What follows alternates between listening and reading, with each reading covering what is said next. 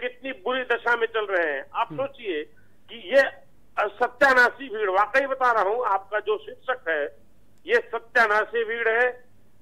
और इस भीड़ को इस तरीके से बाप रे बाप पूरी दुनिया में जिस भारत की तारीफ़ हो रही थी कि सीमित संसाधनों के बावजूद भारत ने अपने आत्मबल अपने अनुशासन से चीज़ों को कितना नियंत्रित नियंत्रित किया था वैसे में कलंक है। ये कलंक है।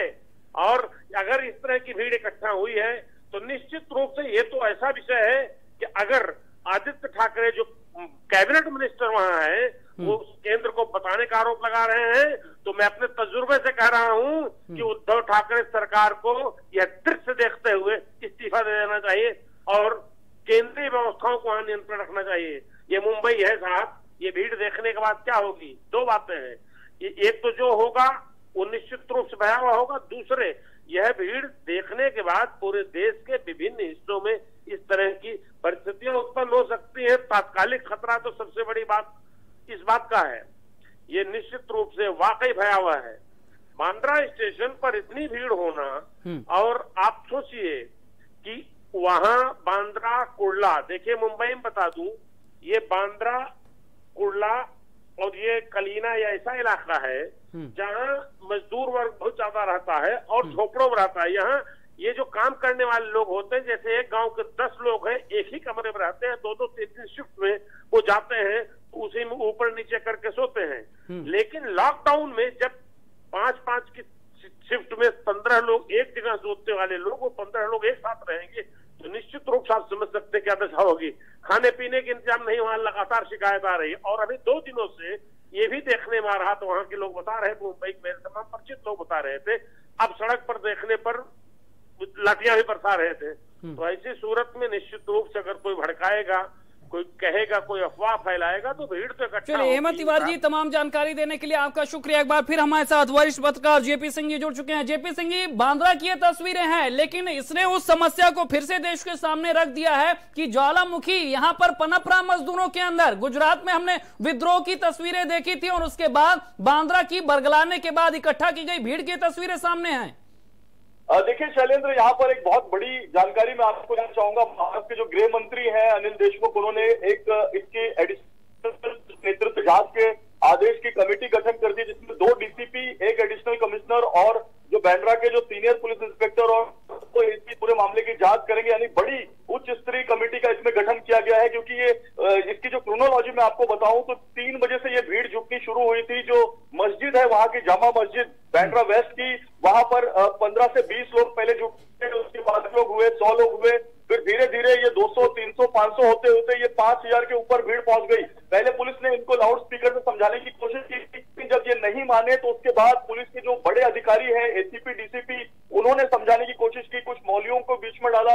और सबसे बड़ी बात मैं आपको स्थानीय है, कोई इसमें बाहरी नहीं है और इसमें मजदूरों के अलावा भी जो लोग हैं, वो हैं। तो अभी जाँच इस बात की करनी चाहिए, इस बात की हो रही है कि ये सारे के सारे लोग कैसे बुलाए गए? आठ बजे महाराष्ट्र के मुख्यमंत्री उद्धव ठाकरे प्रेस कॉन्फ्रेंस लेने वाले हैं तो प्रेस कॉन्फ्रेंस में बड़ा खुलासा महाराष्ट्र के मुख्यमंत्री कर सकते हैं। और सबसे बड़ी बात मैं आपको बताऊँ कि ये अचानक आई हुई भीड़ नहीं है।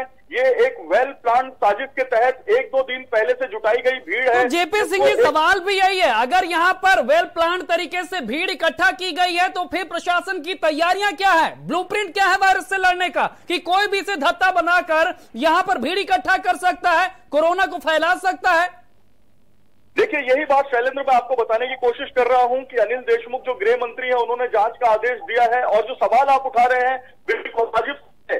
एक तरफ़ देश के प्रधानमंत्री और सारे देश के मुख्यमंत्री राज्य के मुख्यमंत्री जो है अपने अपने स्तर पर प्रशासन अपने अपने स्तर पर अपनी जान जोखिम में डाल, डालकर डॉक्टर्स पुलिस वाले लाठी खाकर जो है लोगों की मार खाकर यहाँ पर कोरोना कोशिश कर रहे हैं। और ऐसे माहौल में जब बैंड्रा में, जो मुंबई का सेंटर पॉइंट है हार्ट जिसको कहा जाता है, जहाँ पर सबसे बड़ी तादाद में सेलिब्रिटी रहते हैं बैंड्रा सांसद पूनम महाजन है, वो खुद इस पूरे मामले को लेकर तीन बार अब तक मीडिया के सामने आ चुकी हैं कि आखिर इस पूरे मामले में इतनी सारी भीड़, आई कैसे इसकी जाँच होनी चाहिए।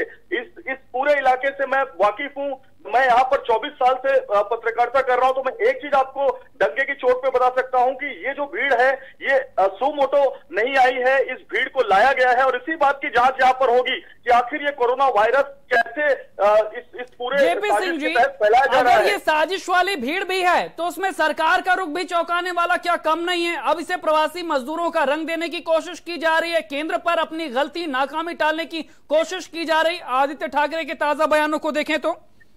जो बिल्कुल आप सही कह रहे हैं और ये जो बयान आ रहे हैं, शिवसेना के हो या बीजेपी के हो, बीजेपी कह रही है कि इस पूरे मामले में जो सरकार है, वो जिम्मेदार है क्योंकि सरकार जो है कांग्रेस, राष्ट्रवादी कांग्रेस और शिवसेना की है। लेकिन अगर लीगल एंगल से देखें, हम इसको प्रशासन के एंगल से देखें तो यहाँ पर प्रशासन का क्लियर है क्योंकि पुलिस और पुलिस के साथ साथ जो बाकी प्रशासनीय जमला था, अमला था, उस भीड़ को कंट्रोल कर लिया होता तो ये बढ़ नहीं पाती और एक जगह से ये भीड़ नहीं आई है। ये चारों, मैं आपको बताऊँ बैंड्रा जो स्टेशन है, उसका एक रास्ता खार की तरफ़ जाता है, एक रास्ता सेंटाक्रूज की तरफ़ जाता है, एक रास्ता जो है समुद्र की तरफ़ जाता है और एक रास्ता ईस्ट की तरफ़ जाता है, यानी हाईवे की तरफ़ जाता है। तो ये हाईवे से भी भीड़ आई है तरफ़ आई है सेंटाक्रूज की तरफ़ से भी भीड़ आई है और खार की तरफ़ से भी भीड़ आई है।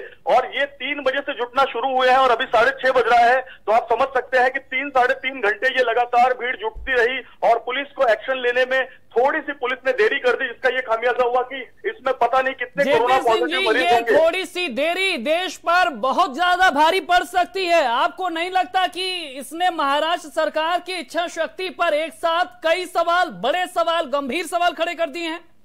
बिल्कुल शैलेंद्र, आप बिल्कुल ठीक कह रहे हैं। महाराष्ट्र सरकार की जो इच्छा शक्ति, सारा किया कराया, सब पर पानी फिर सकता है, क्योंकि मैं आपको फिर बताऊँ कि अगर कोरोना का एक भी पॉजिटिव इसमें पेशेंट रहा होगा या एक भी पॉजिटिव इसमें कोरोना का तो सारे लोगों को उसने संक्रमित किया होगा। कोई मास्क नज़र नहीं आ रहा है कोई इसमें सोशल डिस्टेंसिंग की जो आ, नियम कानून सबको धत्ता बताया गया है और किस तरीके से लोग यहाँ पर जुटे हैं और तितर बितर करने के लिए भी जब पुलिस लाठीचार्ज कर रही है कितने लोग किस दिशा में भाग रहे हैं ये बहुत ही ज़्यादा शर्मनाक विजुअल्स है जो आज पूरी मुंबई देख रही है। जेपी सिंह जी, लेकिन जब राज्य अपने स्तर पर तैयारी कर रहे हैं नए नए तरीके अपना रहे हैं, प्लान बना रहे हैं, तब महाराष्ट्र में, जहाँ पर सबसे ज़्यादा संक्रमण है, वहाँ पर तैयारी का लेवल ये है, और अगर भीड़ सिलसिलेवार ढंग से इकट्ठा हुई है, कई घंटों में इकट्ठा हुई है तो यानी नीचे से लेकर ऊपर तक सब में छेद है, ये अब सामने आ चुका है। बिल्कुल सही बात बोल रहे हैं शैलेंद्र। नीचे से ऊपर तक सब जगह छेद है, ये बात सामने आ चुकी है। ये एक बहुत बड़ा लूपोल्स है और इस लूपोल्स की जो गाज है वो मुंबई कर पर बहुत दिनों तक जो है सालती रहेगी। मुंबई देश का सबसे बड़ा सेंटर है जहाँ पर सबसे ज़्यादा बिल्कुल जेपी सिंह जी ये जो तस्वीरें हैं ये न केवल महाराष्ट्र के लिए बल्कि देश की भी चिंता बढ़ाने वाली और उम्मीद करते हैं कि वक्त रहते अब यहाँ पर वो कदम उठाए जाएँगे जो इस साजिश को बेनकाब करेंगे इसमें शामिल लोगों को बेनकाब करेंगे और वो व्यवस्था कायम करेंगे जो कोरोना से लड़ने लड़ाई को और मजबूती दे ना कि माखौल उड़ाए। तमाम जानकारी देने के लिए आपका शुक्रिया और लगातार हमारे साथ स्टूडियो से भी तमाम मेहमान बने रहे, उनका भी बहुत बहुत शुक्रिया। तो फ़िलहाल आज की बहस में इतना ही। नमस्कार।